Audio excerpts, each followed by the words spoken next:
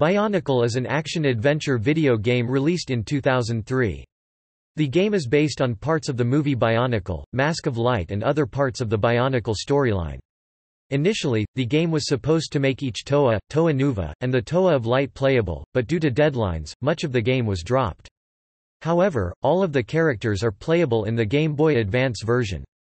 The Mac OS X version of the game was released by Feral Interactive.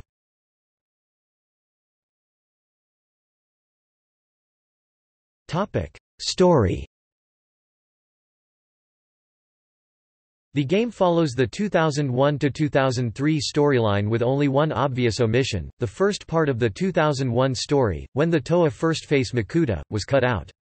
However, many parts of the story were «reduced».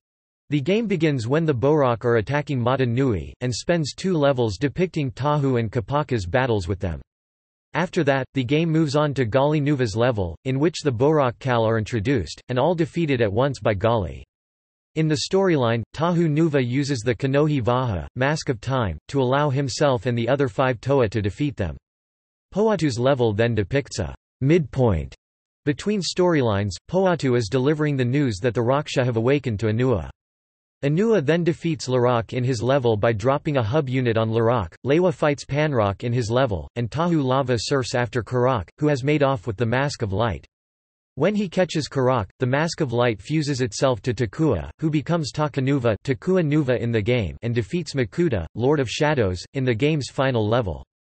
He transforms into Takutanuva and opens the door and awakes Mata Nui. The Turaga and Matoran only make a couple appearances, none of which are very significant to the plot.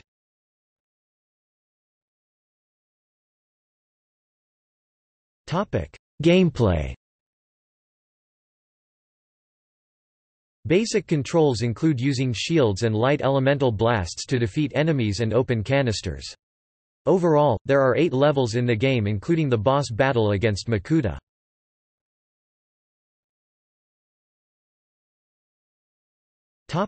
Reception Bionicle, the game received mixed to negative reviews from critics.